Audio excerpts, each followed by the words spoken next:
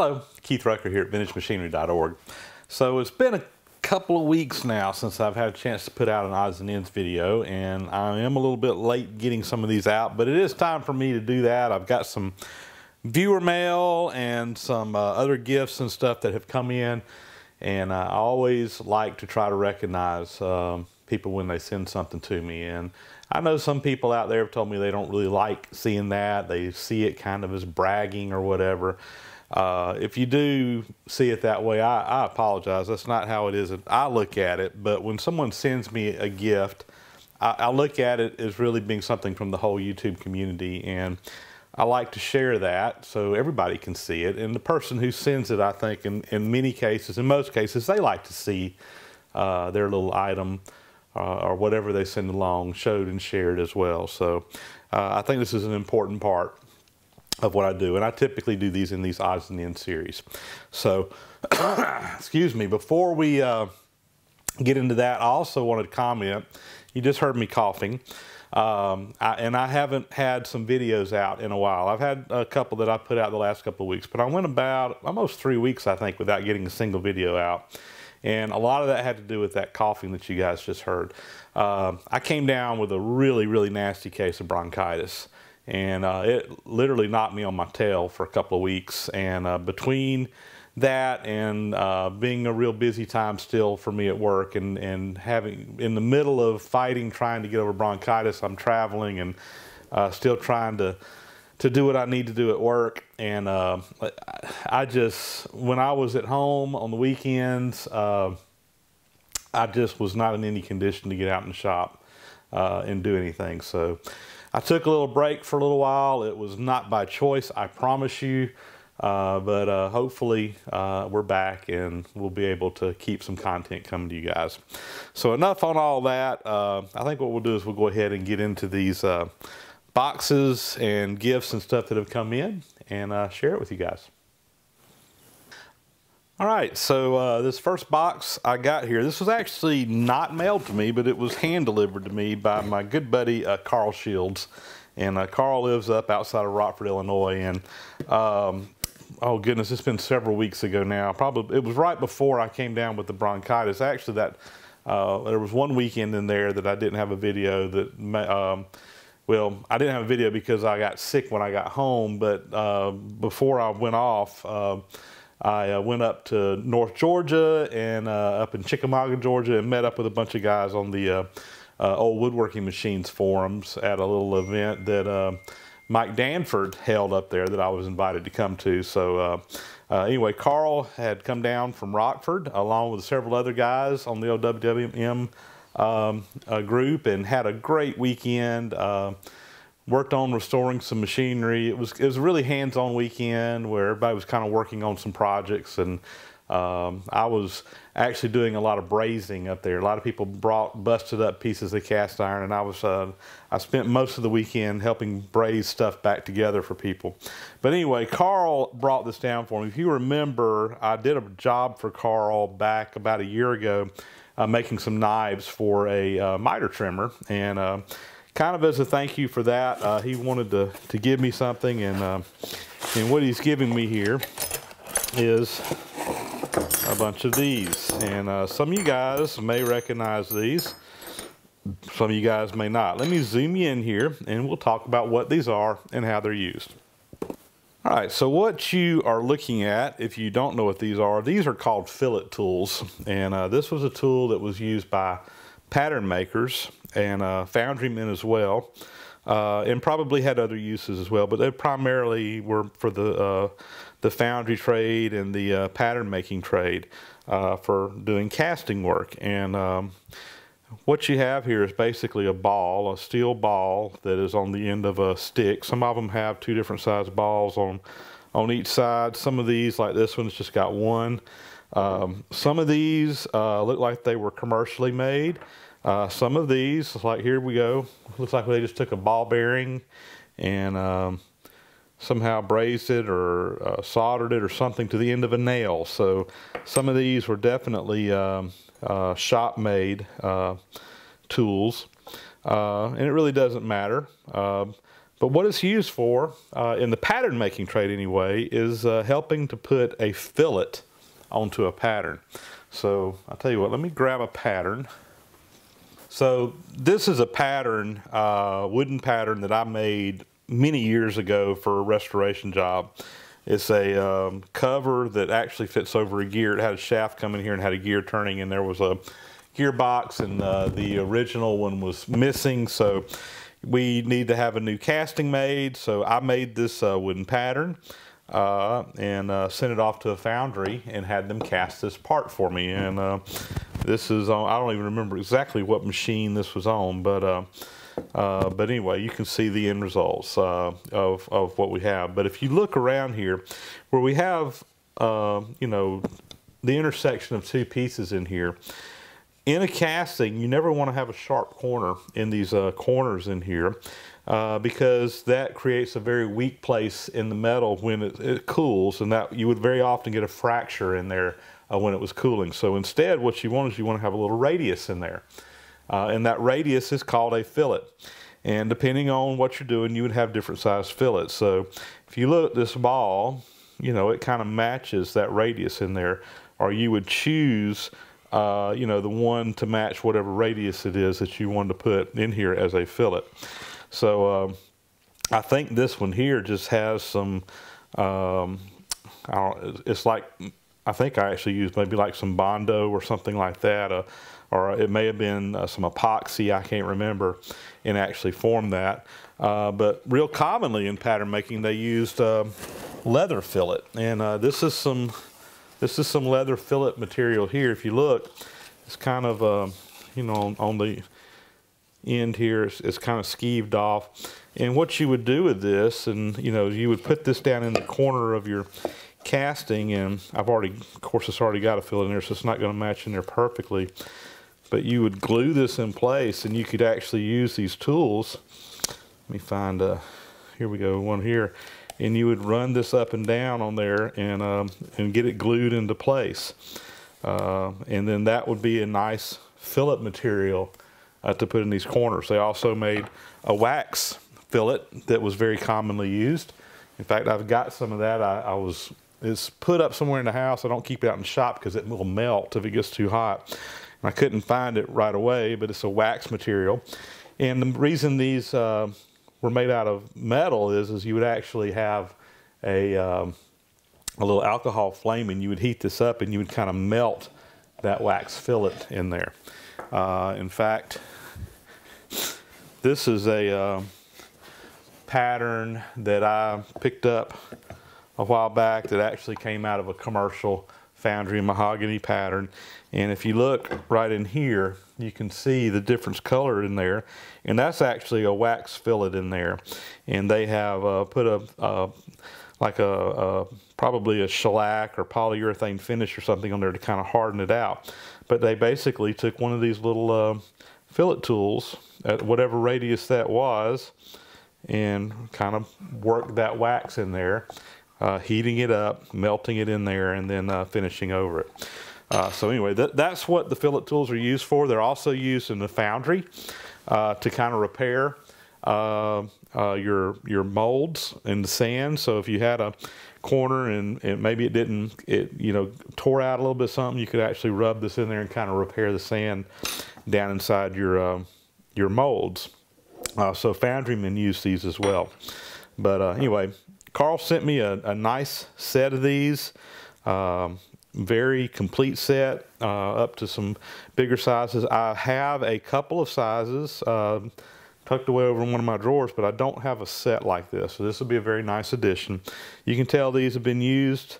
Uh, they've actually got a lot of glue on them. Um, it looks like, or some type of adhesive, probably from where they were gluing these into place and just they just need a good cleaning but uh, these will be very serviceable and we'll put them back to use so Carl uh, thanks a lot for the uh, fillet tools um, we'll make a good home for them and uh, it's very likely that down the road you guys may see some of these uh, in some videos uh, if we do some more wooden pattern making which is a, always a very likely thing around my shop because we're always needing to make patterns for doing uh, metal casting, making new parts for uh, things that are being restored. So up next here, I got a, actually a couple of packages that were sent to me from Carl Schuler. Carl is out in Richmond, Texas, and uh, contacted me a while back and wanted to send me some stuff, and uh, got some real good things in here. So uh, what he sent me in the in the box, and I've already taken all the wrapping off of it here, but he, he sent me some Babbitt and Babbitt related items here. So we got some mystery Babbitt here. Uh, I don't know what source this is. It'll get used. It might end up in a uh, hammerhead. Uh, I might use this in my lead hammer mold or something.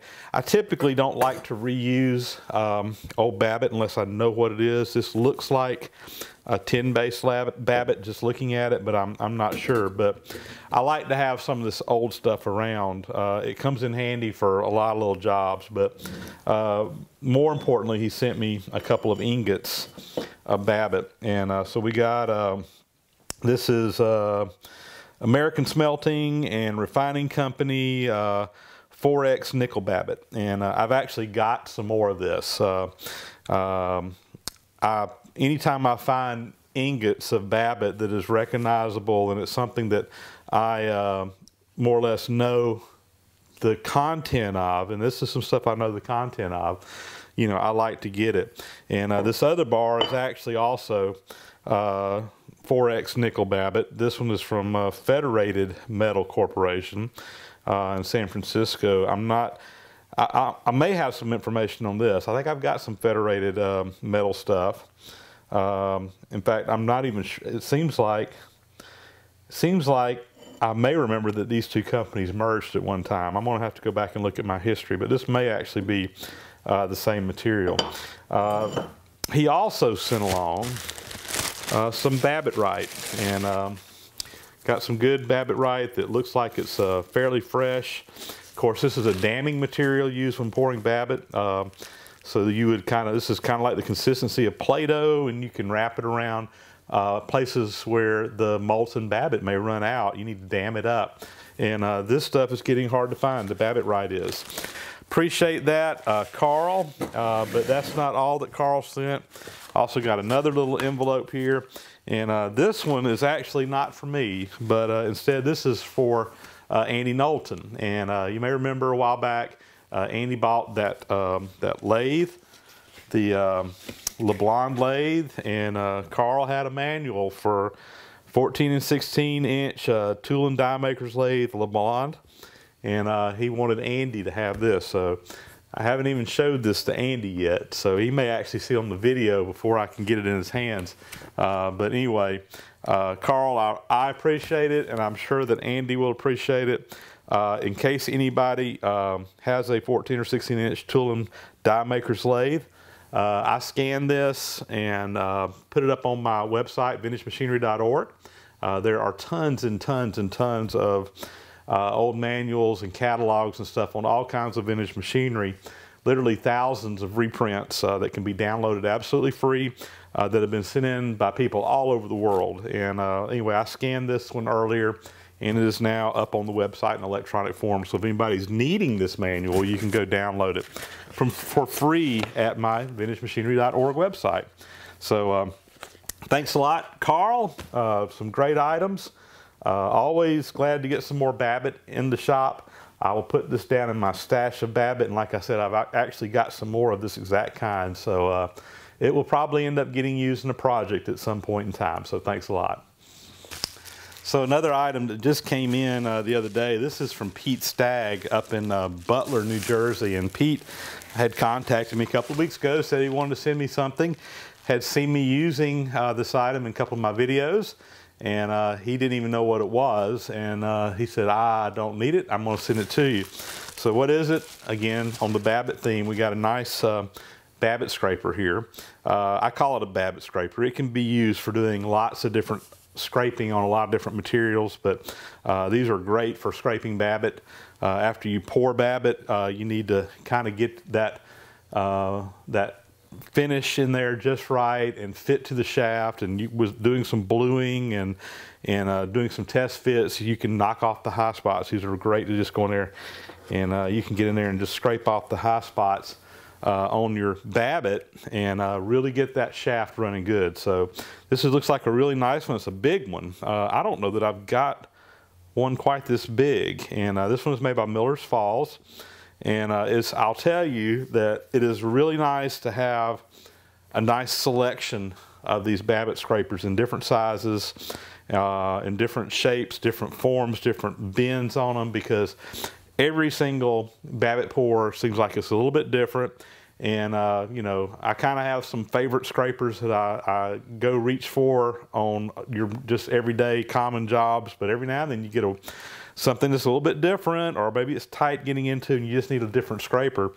So uh, this will definitely come in handy. So I've got all my scrapers out at the museum uh, in my toolbox, and uh, this one will be joining it uh, next time I'm at the museum. So thanks a lot, Pete, for uh, sending this along. And again, another very useful tool uh, that you'll probably see down the road in some videos being used. So uh, next item here uh, comes from James up in Brooklyn, New York. And if you remember a couple of weeks ago, uh, James had sent down um, some broken castings on a Stanley number 55 hand plane that he wanted me to try to braze back together. And I did, shot some video on that. Well, as a thank you for helping him out on that job, uh, James sent along a really neat item. It's a little pocket watch here. And uh, you guys, I've had some pocket watches in some of my other videos. James knew I like them. And uh, this is one that he found. It's uh, made by the South Bend Watch Company. And uh, he told me that he actually uh, did some repair work on it, which I, found amazing. Uh, that he was capable of doing that. I would be lost trying to work on these. He actually replaced uh, some of the jewels in there, which are used as bearings for some of the moving parts. And he said he was very fortunate that it didn't require any major work. There were a couple other things he told me did. I don't remember what they are, but I'm going to zoom you in. This is an absolutely beautiful watch. It runs. It keeps great time. Uh, I have. I, when I got it, I wound it up, set the time on it, and just left it on my desk and actually ran it for a couple of days, winding it up every day until or every couple every day until I went out of town for a while, and it ran for like three days, and um, kept great time. So let me zoom you in here. All right, so maybe you guys can see this uh, with the glare on there, but uh, beautiful, beautiful watch. It's a fairly thin watch uh, compared to some of my other watches that I have, uh, which is nice. And uh, so the on this one, let's see if I can get it to open up. The uh, front case, or front opens up, and this is how you actually set the time on this, is you just move the hands in here uh, to set the time on this one instead of using the stem. Uh, but the front opens up, and in addition, uh, the back opens up as well, of course, to reveal uh, the watch works. And uh, I'll tell you what, hang on one second. All right, sorry about that. That back case is kind of hard to get open. but if you open it up, it actually comes in here, and there's another cover in here. This says South Bend Watch Company, South Bend, Indiana. I don't know if you can see that in the glare on the camera. Uh, and let's see, there's a little place right here to pry open the back. And of course, you can see the uh, inside of the watch working there uh, with everything in operation. And of course, it's like most pocket watches. Um, I think they call this oh, what's the term for it? I can't remember. There's a term for this. This where they decorate the inside of this. They use like a uh, um, engine lathe, they call it, to uh, put these different patterns on there. But that was very typical with watch companies. Uh, they would really decorate the inside of these watches, and it's kind of amazing because most people never see the inside of a watch. The only people that see the inside of the watches are the watchmakers themselves who work on them and that is kind of a sign of the quality of it. So uh, this one says it's adjusted uh, to four positions. It's got 19 jewels, so this is a, a nice quality watch, and again, USA by the South Bend uh, Watch Company. So uh, very, very nice gift. Very much appreciated. Um, particularly what I am most impressed on this is that James actually uh, worked on this watch himself and uh, got it back to running. Uh, again, he said he was very fortunate that there was nothing major wrong with it. It just needed a few little things, but uh, it runs well, keeps good time. Uh, this will become a uh, treasured item of mine. So thank you very much, um, James. I really, really appreciate the craftsmanship in these antique watches, and I appreciate you uh, uh, thinking of me and sending this to me. So thanks a lot.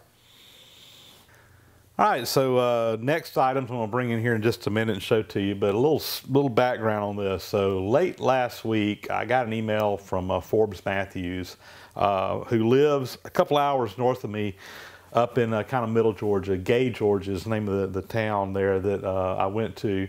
And uh, he told me, he said he saw my video on the dividing head that I did a while back, and saw where I was looking for a chuck to fit the dividing head. And he said, I've got a little uh, little uh, what was it, eight and a quarter inch chuck that he said was surplus to him. He had picked it up uh, somewhere along the way, and if I would like to have it, it was mine.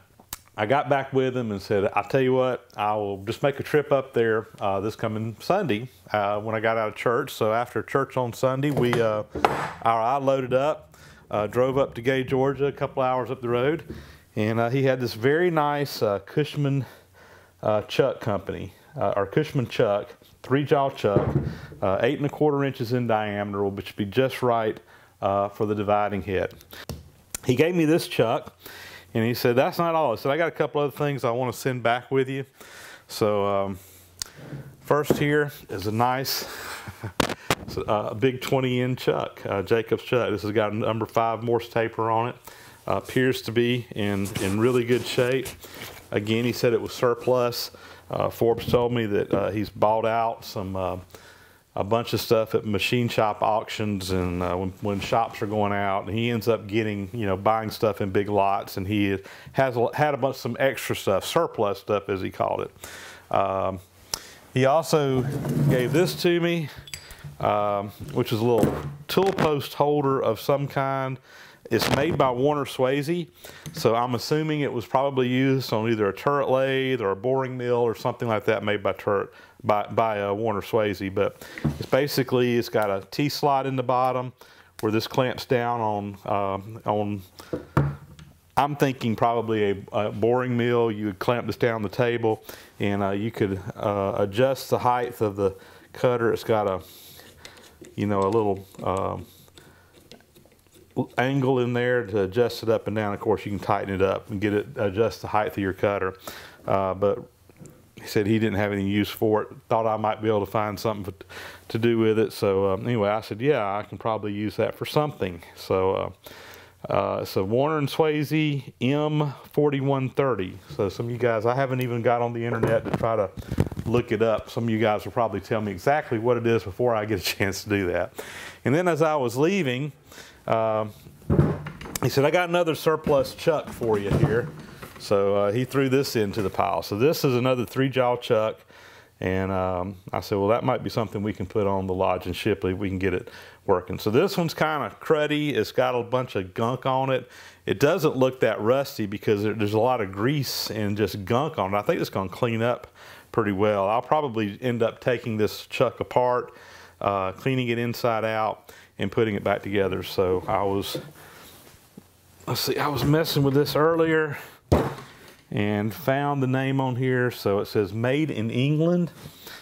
I can't see out of my glasses. Made in England, um, Edgwick, um, Unicentric. I, am having a hard time reading it. So E D G W I C K Unicentric, made for Alfred Herbert Limited uh, Coventry. So some of you um, English guys may be able to tell me about this. It looks to me like it's got lines on here and this looks like uh, metric uh, measurements on there, which is no big deal. Uh, I haven't done anything with this, tried messing with it yet or anything like that to even see if it works. Uh, it is kind of unique. Uh, it's got the, the jaws on here that clamp in, but there's like little serrations in here where you can adjust this or, or put this in a lot of different places uh, on there. So, you know, these look like specialty uh, chuck pieces. They're a little bit different than some of the, it's actually on a T-slot in here. Uh, where these adjust up and down. And again, you got all these little serrations in here that these lock in place on. So I'm not, again, I'm not exactly sure uh, what this chuck was originally intended for. It may have some special purpose. Again, I need to look it up. But a unicentric uh, chuck is what it's called. So anyway, so that's uh, that's what we got from Forbes. Uh, Forbes, if you're watching, greatly enjoyed uh, the visit. Uh, and um, I'm gonna have to make another trip up sometime where I can spend a little more time because uh, you got a lot of fun stuff up there, and, uh, and, it's just it's just a neat piece of property you have and a neat shop that you have. I've thoroughly enjoyed the visit, and thank you so much uh, for the items. Uh, so on the dividing head chuck, we're gonna have to make a back plate for this. it's an oddball size thread on my dividing head, four and a half threads per inch. Uh, I can't remember the diameter. It's I think like an inch and a quarter or two and a quarter inches. But uh, anyway, we're going to have to make the back plate for this, so that'll probably be a project coming up uh, down the road. Um, but I'm real excited about getting this and putting it on the dividing head. So guys, that's going to wrap up another issue of Odds and Ends. I hope you enjoyed that. I will make a comment that um, if you sent me something the last couple of weeks and you didn't see it in this video, shoot me an email and let me know because I really think I had something else that uh, I was supposed to show and I can't remember what it is. So please, please, please, if you sent something and you haven't seen it uh, in one of the videos here, uh, let me know so I can make sure I get it in. Uh, it's like I said, it's been several weeks since I've been able to get out in the shop and do one of these, and I've gotten behind, and things have kind of gotten scattered a little bit. So I, I, hope I got everything covered. I really, really do. If I didn't, I apologize to whoever ahead of time, and we'll get you in the next one if you'll shoot me a reminder. So, as always, uh, thank you guys for watching. Appreciate it so much, uh, and it is very nice to be back in the shop. Uh, my health is improving greatly, and I, I, think I'll be able to start being a little more regular again with my videos, uh, which I'm really excited about. It was in spring is is here in South Georgia where I'm at. Uh, the grass is green. In fact, I'm gonna have to cut the grass here, or cut mostly weeds, but also the grass uh, this uh, this week. The trees are bloom budding out with new leaves. The flowers are in bloom, uh, and what's I'm excited about is we got some warmer weather. Uh, the days are longer with uh, the daylight savings going back. So what that's going to mean for me is more time to get out and shop and do some things, and the weather being a little more agreeable to getting out and shop and doing some things. So hopefully we'll be able to kick up uh, the videos here uh, soon and bring you guys some more stuff. So again, thanks for watching and uh, we'll talk to you later.